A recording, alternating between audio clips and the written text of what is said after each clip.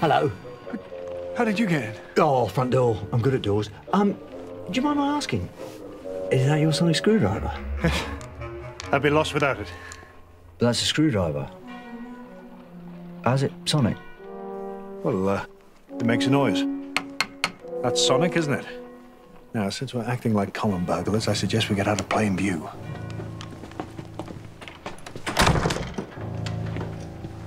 This investigation of yours, what's it all about? It started with a murder. Oh, good. Oh, I mean, bad, but whose? Mr. Jackson Lake, a teacher of mathematics from Sussex, came to London three weeks ago and died a terrible death. Cybermen. It's hard to say. His body was never found. But then it started. More secret murders, then abductions. Children stolen away in silence.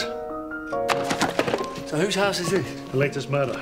The Reverend Aubrey Fairchild, found with burns to his forehead, like some advanced form of electrocution. But who was he? Was he important? You ask a lot of questions. I'm your companion.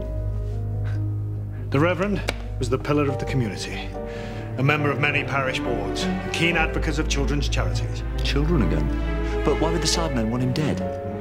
And what's his connection to the first death, this Jackson Lake? It's funny. I seem to be telling you everything. As though you engendered some sort of trust. You seem familiar, Mr. Smith.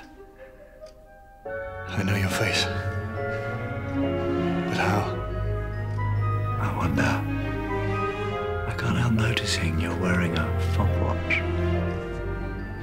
Is that important? Legend has it that the memories of a Time Lord can be contained within a watch. Do you mind?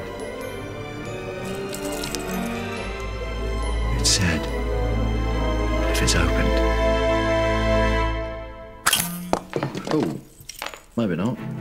That's more for decoration. Yeah. Anyway, alien infiltration. Yes. Just look for anything different. Possibly metal. Anything that doesn't seem to belong. Perhaps a mechanical device that could fit no earthly engine. Could even seem to be organic.